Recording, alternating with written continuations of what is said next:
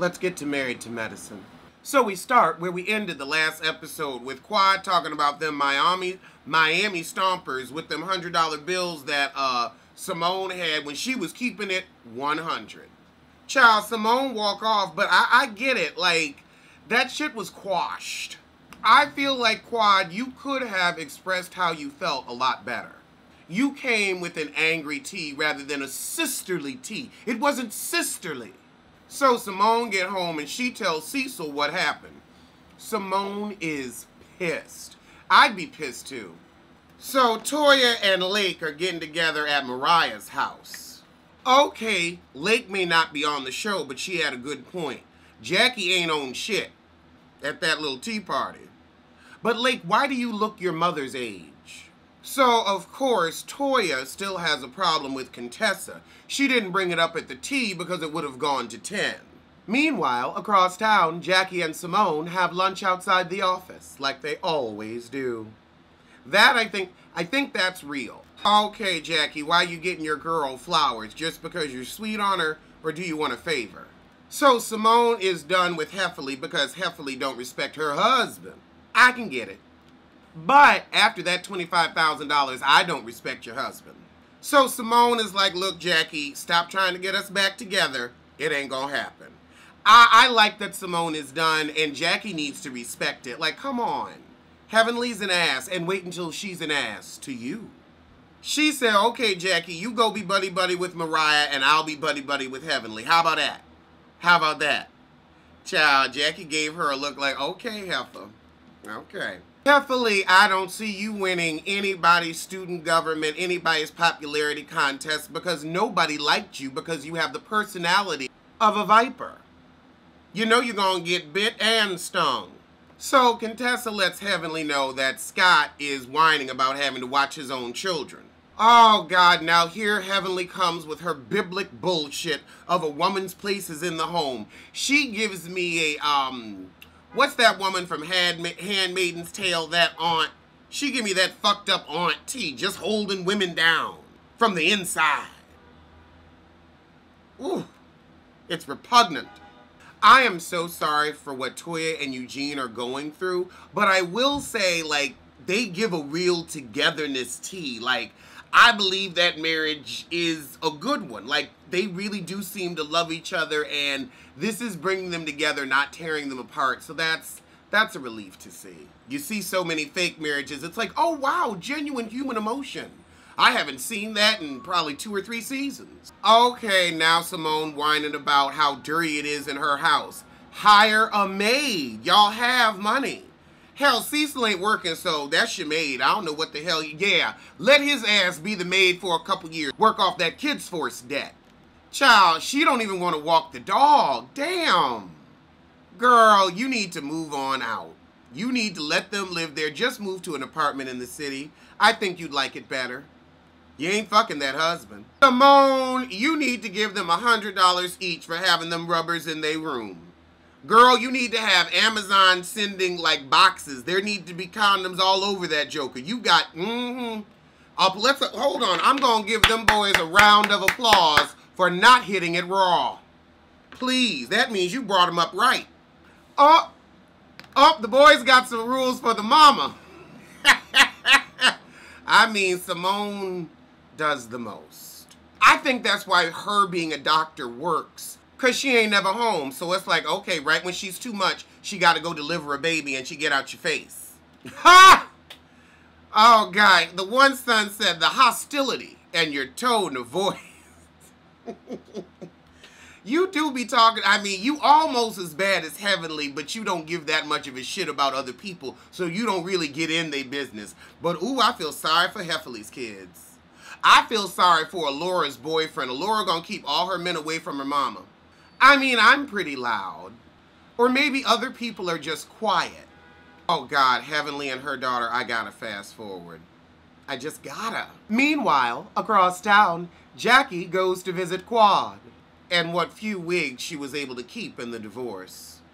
Okay, so Quad plugging her little cookbook. Oh, wait a minute, but wasn't that about like romantic recipes or some shit? Wasn't that about like cooking with your mate? Meals with your mate, I think. I can't remember. But Dr. Jackie gonna say, oh, you know you could buy all these vegetables pre-cut.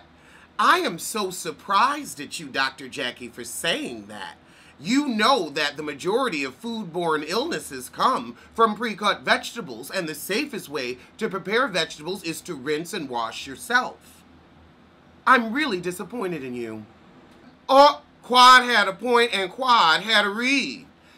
You catch babies. I cook. Let me, me, you, you. I don't try to you. I, I don't try to be a friend of medicine, you know, and, and give people diagnoses and whatnot, but I know about fresh food and I know what I need. I know what I need to pick. I know how it needs to be. Child, you could get home and them tomatoes be soggy and sorry. Jay getting it in says she non-cooking, she non-fucking. What's she good for? Honey, I don't know. I mean, she's good for her patients, but it don't seem like much else.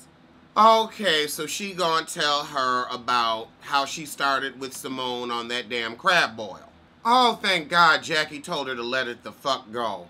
Dr. Jackie is giving us her best Iyanla. Quit talking. I want you to listen to me. I want you to listen to me. I mean, Quad does have some shit to own, but I just feel like her and Simone don't need to fuck with each other anymore. But then again, maybe six lips are better than four. I wouldn't know. Quad is a professional victim. Thanks, chat.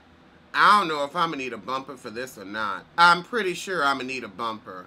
But uh, Mariah Huq is on uh, Watch What Happens Live, and I, I don't know if I want to look at her for that long. And speak of the heifer, here she is. Simone and Mariah are having a beverage.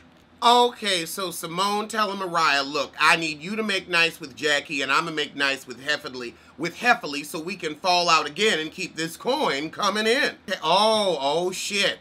Oh shit, we gonna do it right now. Jackie and Heffley gonna pop up and pop in. So of course, Heffley is pissed. I would be too. Ooh, I would be so mad if you brought me out to lunch and Simone was there. I just feel like she'd yell at me.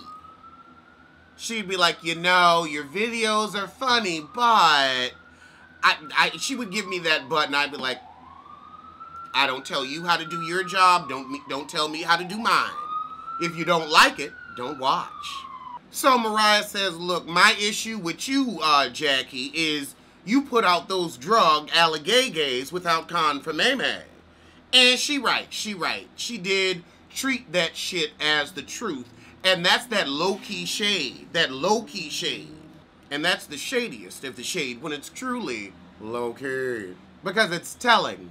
Now, Jackie, stop backpedaling, stop pussy popping. You too smart of a woman to not understand you didn't say alleged.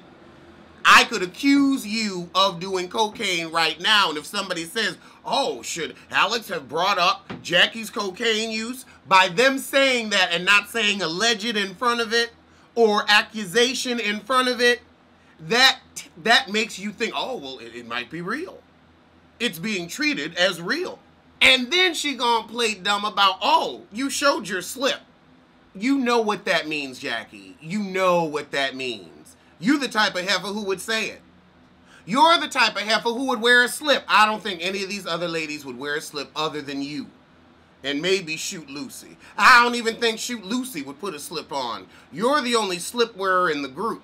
I bet you you could go through their closets, you wouldn't find slip to first. I bet you you've got a really nice collection of high-end slips. Do they still make slips anymore, or do they, do they just build it into the dress now?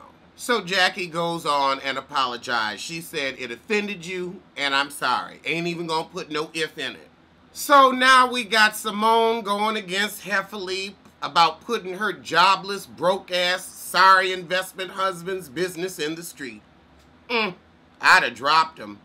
Okay, Heffley said, look, you never told me about the job shit and confidence. You was kind of, you know, telling it to everybody.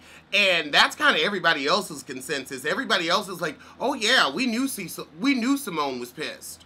I, I can't remember. But you know what? Simone is always pissed. So to try to pick out a specific moment of her pissivity, it's a little difficult over the past five, six seasons. Okay. I'll say this. Cecil never should have said shit to Heffley.